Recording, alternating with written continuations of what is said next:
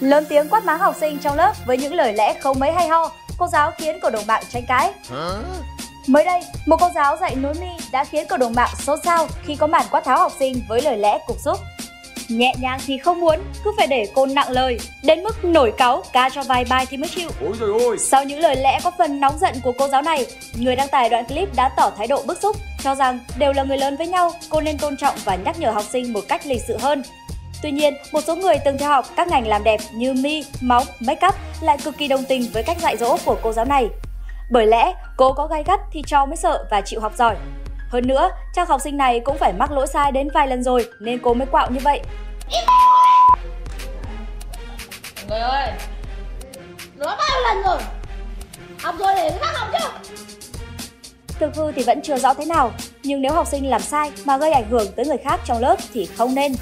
Các chị em đã từng học bộ môn nối mi có đồng tình với cách dạy của cô giáo trên hay không? Comment ngay cho TV Trend được biết với nhà. Đừng quên nhấn đăng ký theo dõi kênh để ủng hộ cho TV Trend và cập nhật thêm nhiều tin tức thú vị mỗi ngày nhé!